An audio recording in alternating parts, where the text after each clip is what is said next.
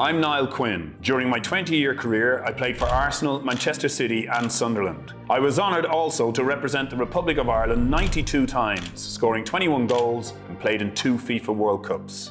Today, I've travelled to the United States, to Cary, North Carolina, to meet Denise O'Sullivan, linchpin of the Irish women's team, about to make their first ever World Cup finals appearance this summer. Denise, great to meet you.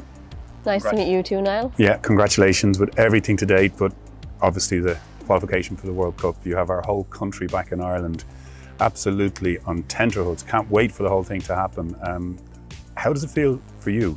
Um, it's almost surreal. Um, it's been a few months now since we qualified and I still have to pinch myself a bit about qualification but yeah, it's just an honour. I think the country deserves this. The fans have stuck by us um, the past few years and it's a huge moment for all of us and we're, we're really excited for the experience of you know hitting our first major tournament. Um, against top teams in the world. So yeah, looking forward to it. Just got to keep working hard towards it. And, and that hard work, it's so uh, it's so apt that you talk about that because it's it's your way, isn't it? That's the way you play. You were brought up to to work hard at the game, be uh, aware of everything that's going around you, and you're. What, what I, what, I, like most about you is your ability to just want the ball no matter when you're being marked. It's the, it's the, it's the toughest strength to, to overcome, you know, when people are chomping at you trying to get the ball off you, but you're still looking for the ball.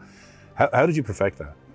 I think growing up, I um, started playing when I was six years old. I always had a ball at my feet, so I started playing with a boys' team, and I think that's where I got my confidence from and my bit of toughness. I know people say I'm very small, but I'm uh, aggressive, but I think that was coming from playing with my brothers and playing street football. I think that uh, technical ability to be able to get on the ball all the time, I think that's where it came from. And your job in midfield is to get on the ball, so um, you just have to be brave. And I think I am a brave player on the pitch, whether I make mistakes or not. I just keep trying to get on the ball and create whatever I can for the team. It's about time, of course, that uh, you know the, the, women's game is recognised the way the way it is now in Ireland. Uh, you fought many battles on the way up, I'm sure.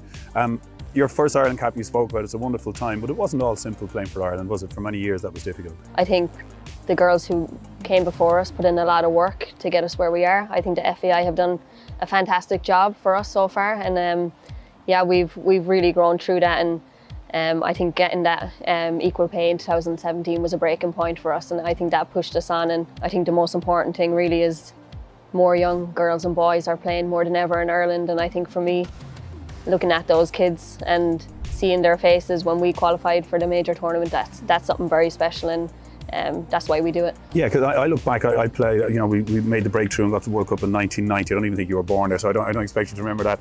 But um, what, what drove us on for about four to six years afterwards was the, the exhilaration we got from the fans and the backing that they gave us. And that's obvious now, that's coming into play for you guys. Are, are you aware of that as a strength? Does that give you a bit of a worry, oh my God, we have to do well, are we letting these people down? Or is it, are you out the door and say, hey, you know, we're all in this together?